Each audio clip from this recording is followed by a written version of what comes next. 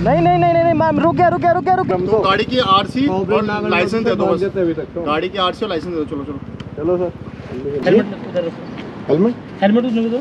तो भाई आज का जो ये वीडियो है ना भाई इसको लास्ट तक ज़रूर देखना क्योंकि सिर्फ़ आपका कहीं पे होना सिर्फ़ प्रेजेंट होना ना आपके लिए बहुत मुश्किल क्रिएट कर सकता है।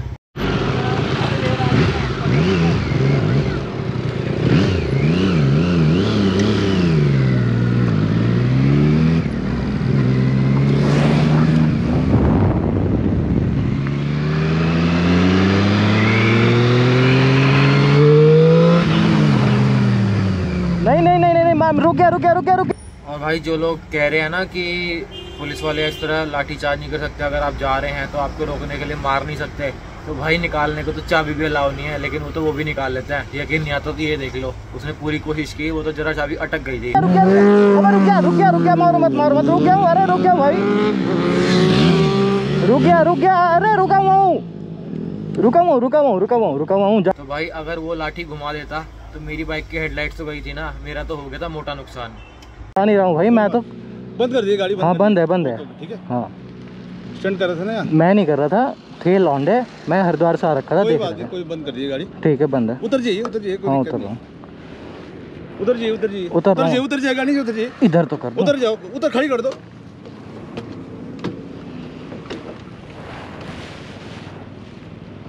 चाबी निकाल दो। लाओ। रोक दो रोक दो दो। सर? स्टंट कर रहे थे ना यहाँ पे। स्टंट नहीं हमारे सर हम तो ब्लॉग बनाने आए थे स्टंट हम तो खड़े थे उधर साइड में। वो जो कार घूम रहे ना आप उनसे पूछ भी सकते हैं कि कौन स्टंट करा था और कौन साइड में खड़ा था। पूछ लो सर आप यहाँ पे। हम तो अपना ब्लॉग बनाने आए थे स्टंट वाले पीछे से भागे अभी। कोई बात नहीं आप तो साथ में नहीं आप उनकी बाइक भी देख सकते हैं अलग वो अलग ग्रुप है सब खड़े हो गए हम तो नीचे बैठे थे। कोई दिक्कत नहीं आप बैठे रहिए। ठीक है सर। भागा कहाँ सर? मैं तो पहले रुक गया आपने जब रुके बीच में। उतर जा नीचे गाड़ी से। कोई नहीं कोई बात नहीं। इधर ही हम थोड़ी मार रहे सर स्टंट वो भागे ना सर स्टंट चाहिए दोस्त। सर हम तो स्टंटिंग कर ही नहीं रहे थे ना।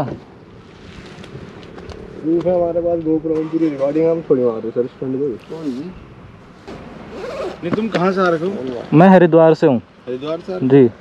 यहाँ काय के लिए आ रहे हो व्लॉग बना रहे थे ना हम। इसमें इसमें कहाँ होंगे सर स्टंट आप इसमें देख भी सकते हो ये तो नॉर्मल है बिल्कुल मतलब पीछे से कुछ नहीं हटा हुआ ऐसे इस पे स्टंट होंगे भी कहाँ। इसके गाड़ी वाला भाग गया। ना में जब हमने कुछ करा ही नहीं तो हम भागे क्यों भाई? ज़ाहिर सी बात है। आप सामने आए मैंने रोक दिया आराम से। जिन्हें पकड़ना चाहिए था वो जो स्टंट मार रहे थे वो चले गए। ये तुम भी तो हमें तो बेवजह पकड़ लिया आपने वो उधर वाले रास्ते को भागे। क्यों फिर तुम यहाँ पर जब तुम्हें पता है स्टैंड हो रहा है यहाँ पर तो तुम क्यों खड़े यहाँ पर? सर हम तो हो बाइक डिटेलिंग का ब्लॉग रखी बनाने है आए थे हम तो। चलो भी आप अपने पेपर दीजिए हमारे साथ चलिए। पेपर है सर पेपर है। सर। लेकिन सर ये तो बताओ जब हम लोग नहीं कर रहे थे फिर? यहाँ पे हमें बार बार कोशिश की गई कि हम अपने आरसी या अपना लाइसेंस उनके हाथ में दे दें, जिससे कि वो हमें ले जा सकें थाने। लेकिन हम थोड़ा सा करते रहे कि नहीं सर, हम तो स्टंटिंग कर ही नहीं रहे थे, हम सिर्फ़ खड़े थे। और फिर उन्होंने पूछा कि हम गए क्यों थे? तो भाई, इसलिए गया था मैं। Hello everyone welcome back to my channel so guys आज जो है बिल्कुल नई वीडियो लेके आए हम आपके लिए। जी आठ सौ वर्सेज ट्राइम सिक्स सेवन फाइव इससे पिछली वीडियो थी 900 की जिसमें कि आपने देखा होगा कंपटीशन काफ़ी तगड़ा था लेकिन 900 900 निकल जाती है।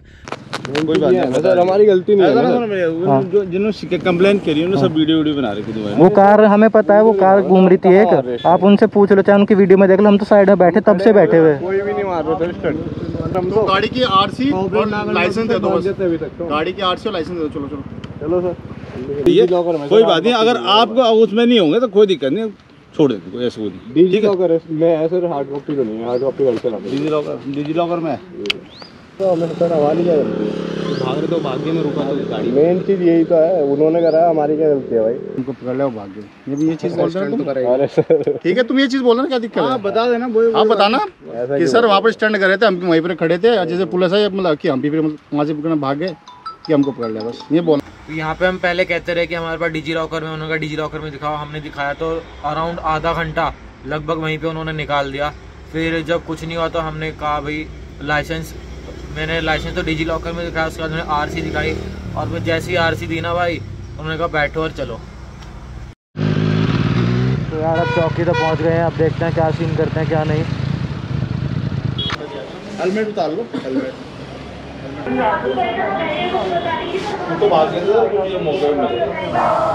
और भाई, जो कॉन्स्टेबल्स थे, जो हमें लेके गए ना वहाँ, उनको सब पता था कि हाँ हम लोग वहाँ खड़े थे, हमने बताया था उन्हें वहीं पे खड़े खड़े और उन्होंने वहाँ जाते हमें कैसे प्रेजेंट किया, अपने सर को बोला सर वहाँ कुछ लोग स्टंटिंग कर रहे थे कंप्लेन आई थी, हम तीन लोग को पकड़ के लाए हैं।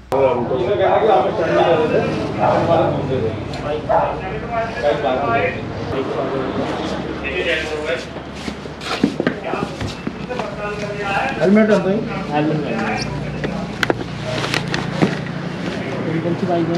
सर मेरी ये वाली है। ये वाली। और ये? हमारी वो वाली है सर वो दो बाहर खड़ी है। वो। यहीं पे ले यहीं पे ले उनको। तुम भी साथ में हो गए इनके? मैं तो आपके सामने शादी का आया तुम जाओ तुम्हें क्यों बुलाया? नहीं ये कहाँ है? तुम्हें थोड़ा ना बुलाया। ये नहीं तो- ये- ये तो मैं इनके साथ आया ना मतलब सर के सामने ही मैं घर से आया था। नहीं तुम्हें थोड़ा ना बुलाया हमने। तुम्हारी बाइक कहाँ है? मेरी? मेरी तो बुलेट है। कहाँ है? साइड में खड़ी कर रही थी तुम्हें हेलमेट उतारो हेलमेट हेलमेट उधर दो हेलमेट नीचे रख दो हेलमेट इधर रख दो कहीं एक साइड। तुम भी हेलमेट उधर रखो। ये लीड निकालो। लीड निकालो हेलमेट उधर रखो। सर हेलमेट वहीं पर रखो। हेलमेट रखो। हेलमेट रखो। हेलमेट लाइन से रखना। लाइन से रखना। है अब मुझे ये बताना तुम ठीक है? ये हेलमेट किसका है ये वाला? ये वाला हेलमेट किसका है? तुम्हारा है? वहाँ पर खड़े हो जाओ। उधर यहाँ पर नहीं उधर। और ये वाला किसका है? तुम भी उसके साथ में खड़े। तेरा है? तू उसके साथ में खड़ा। ये तेरा है? तुम वहीं पे खड़ा हो जाओ।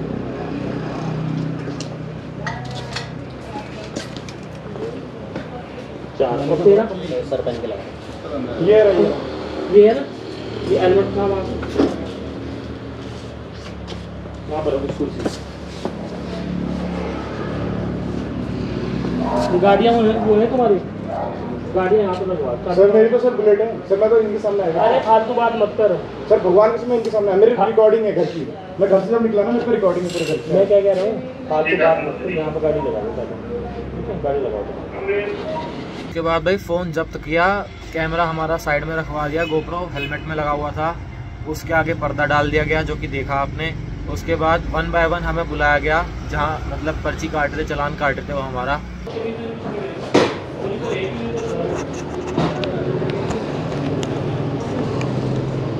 मैंने पूछा, सर, मैं कुछ कहूँ? उसने सीधे बोला कि, नहीं। मैं कहा, सर, सुन तो लो। नहीं, सिर्फ़ नाम बता। मैं कहा, सर, हम कुछ नहीं करते सिर्फ़ नाम बता। मतलब उनका यही चलता रहा कि सिर्फ़ नाम बता।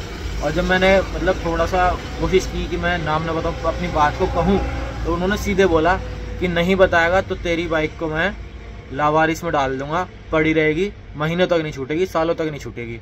तो भाई अनफॉर्चुनेटली नाम बताना पड़ा। और मज़े की बात देखो, नाम बताया, उन्होंने चालान थोड़ा बहुत फिल किया। साइन करा है, उसके बाद धाराएँ लगाई। धाराएँ लगाई और उसमें ये भी मेंशन नहीं की कि चालान कितने का था। हमें वो भी नहीं पता, चालान कितने का कटने वाला है। मतलब वहाँ जाके जो फ़ीस डिपॉजिट होगी कितने की होगी कुछ नहीं पता। सो so, सीन कुछ ऐसा है हमारी सभी की बाइक जो है सीज कर दी है मतलब बिना कुछ सुने बिना कुछ कहे। हमने कहा भी कि हमारी बात सुन लो और हमें चलान दे देते हमें हमने कहा कि यहीं चलान कर दो वो भी नहीं हमारी कोई बात सुनी भी नहीं गई कि हम वहाँ क्या कर रहे थे क्या नहीं। वहाँ से जो लाए सीधा हमारे हाथ में ये दी थी गया है।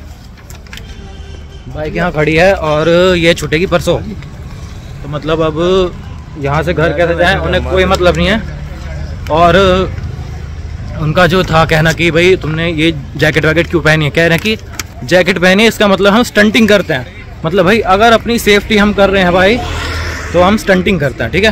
दूसरी बात ये भी भाई, हमारा गोप्रो वगैरह, हमारा फ़ोन सब जब्त कर लिया गया पहले ही, ताकि हम अंदर की रिकॉर्डिंग ना बना पाए। इसमें क्या क्या धारा लगी हुई है, कुछ नहीं पता।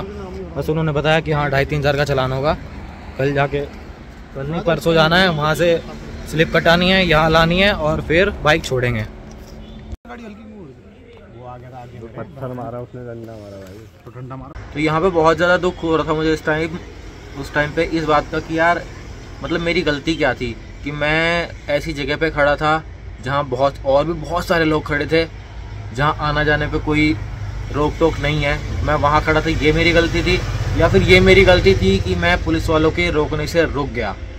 मेरे को समझ नहीं आ रहा भाई। किस बात के लिए मेरी बाइक सीज की गई है? किस बाइक का, किस बात का मेरा चलान कटा है? जो मुझे अनफॉर्चुनेटली भरना ही पड़ेगा अगर बाइक वापस छुड़ानी है तो। और दूसरी बात ये किस तरह का बिहेवियर था हमारे साथ, जो कि मतलब बिल्कुल जैसे कोई क्रिमिनल नहीं होता, ऐसी वाली फीलिंग आ रही थी कि भाई, चुपचाप खड़े रहो, नाम बताओ, पापा का नाम बताओ एड्रेस बताओ, और ये रही पर्ची, और चले जाओ बाइक छोड़ के अपनी। मतलब भाई, मैं, मैंने सर से कहा भी कि सर, मैं तो हर हरिद्वार से आ रखा हूँ, कैसे जाऊँगा वापस? उसने कहा, वो सब मुझे नहीं पता। जाओ और छुड़ा लेना बाइक परसों जाके. मैं ये नहीं कह रहा कि लोग वहाँ स्टंटिंग नहीं कर रहे थे। स्टंटिंग हो रही थी और इलीगल भी है। मतलब खैर, वो एक अलग जगह थी। पब्लिक प्लेस पे इलीगल है। तो किसी ने कंप्लेन की होगी तो पुलिस को अपना काम तो करना ही था भाई।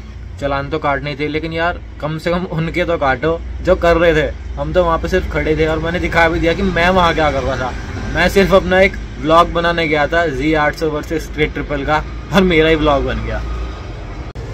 तो यार, इससे ज़्यादा मैं कुछ नहीं कहना चाहूँगा, कहने का कोई फ़ायदा भी नहीं है कि कोई सुनता भी नहीं है।